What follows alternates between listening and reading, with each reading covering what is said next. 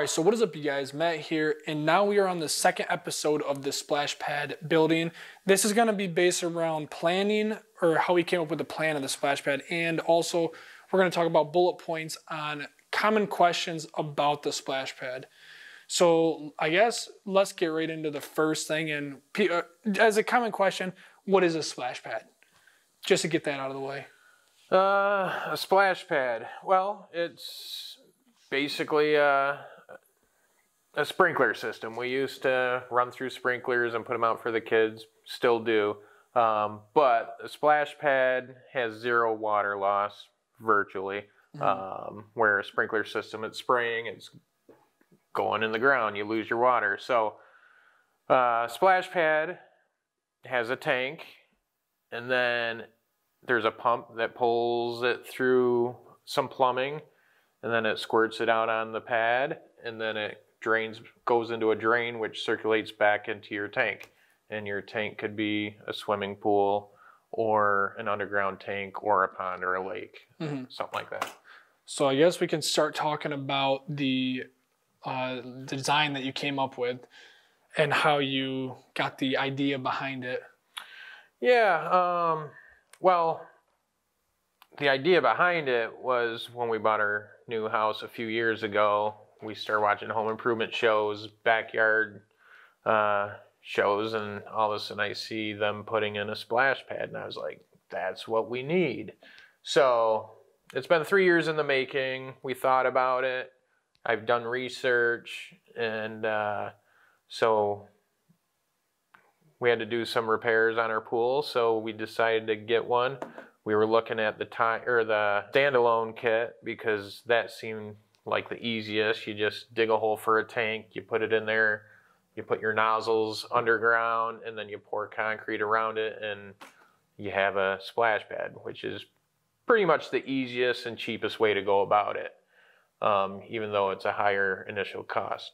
Uh, instead, we decided to go with the tie-in kit, which goes to the pool. Another big reason is it's a very safe unit. There's no water. So we have our pool, which is nice, and the grandkids go in it, but then the parents have to go in it and you got to watch the kids. Mm-hmm. So with the splash pad, they can go out on there. There's no water. It just drains off into a drain. So they could be out there running through the fixtures and have a good time, and we don't have to worry about them. So before we get to the questions, let's get into your design that you came up with for um all right yeah um i was initially i was thinking square you know but then it's like it's going to take up too much of the yard so then i was thinking round but then i was like round is too small so what i ended up coming up with is a kidney bean shape um, which fits alongside of our pool nice and it gives a lot of play area for the kids and uh, the fixtures that we bought along with the spray nozzles. Mm-hmm. So when I started designing it, um, I was trying to figure out size. So I was scaling it up in uh, Adobe Illustrator, which is a scaling program. Um, and so I started laying it out and I thought I was doing pretty good. It was about 14 foot wide by 25 foot long, seemed plenty big enough. And then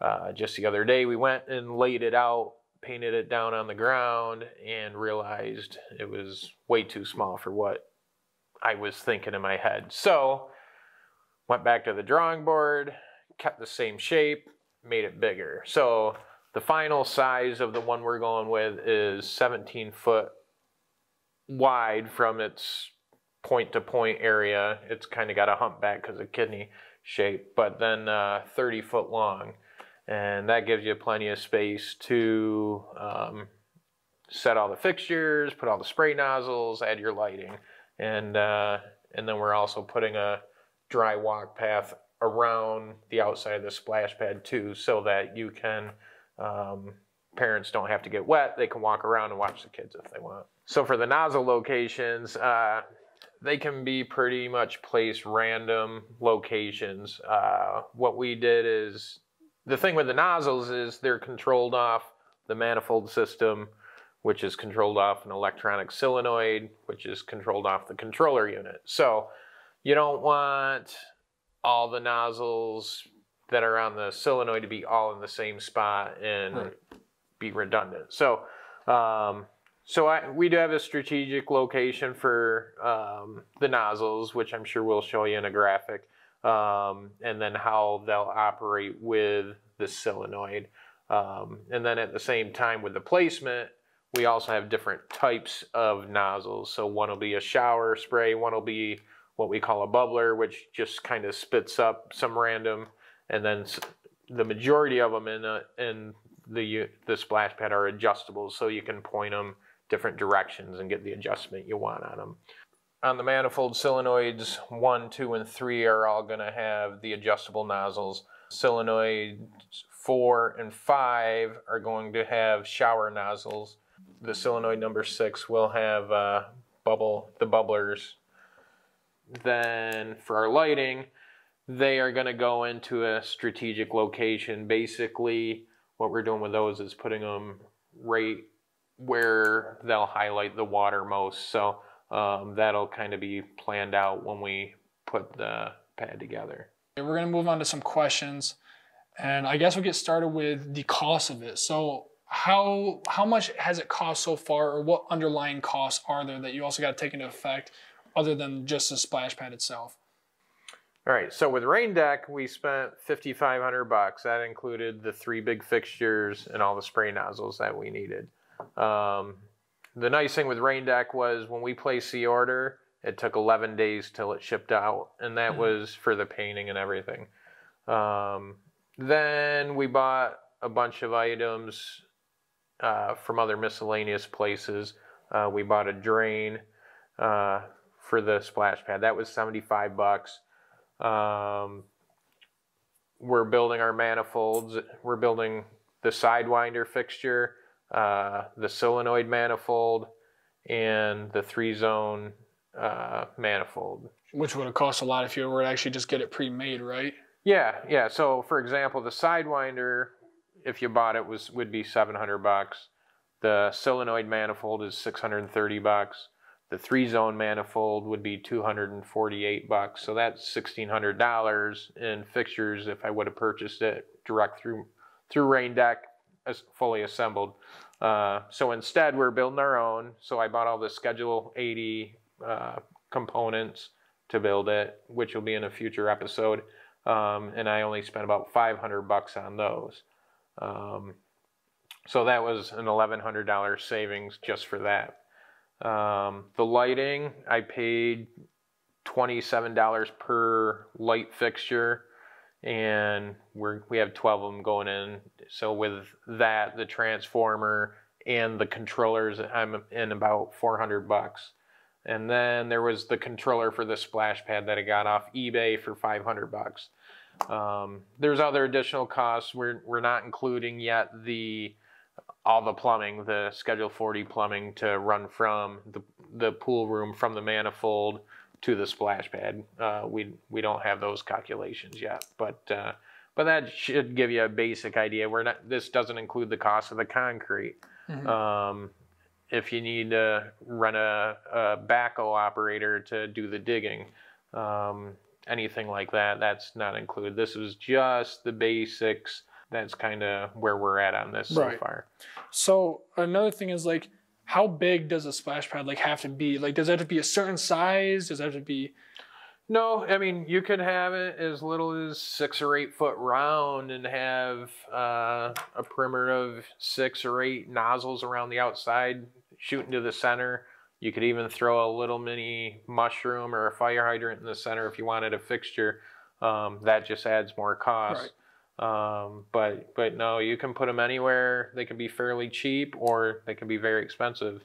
Um, the big thing is you got to remember to put in the concrete, and then they also have a rubberized coating which you can put on the concrete to um, protect kids if they fall down or something. Mm-hmm. But that's another cost. Um, where we didn't, we decide not to go with the rubber surfacing. We're just going to do stamped concrete instead. Right. So does nozzle placement matter at all, or how do you come up with where you have to put the nozzles on the pad?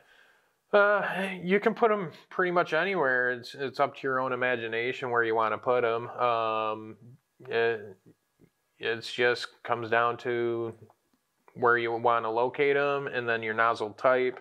Um, if you're going around the perimeter, you don't want a shower nozzle because that'll spray outside the pad. Mm. So you'd want adjustable nozzles to spray to the center. Um, that's so. I mean, it's it's just up to your imagination. So that's the same with like the lights, the drain, and the fixture. Yeah, there's a drain just ideally have to be somewhere in like the middle of it. Well, the drain. I don't think we mentioned that earlier, but um, the drain typically goes towards the center um, of your splash pad, and then everything pitches to the center. Uh, we put our uh, bucket dump exactly in the center, so our drain's just going to be off center from the dumping bucket.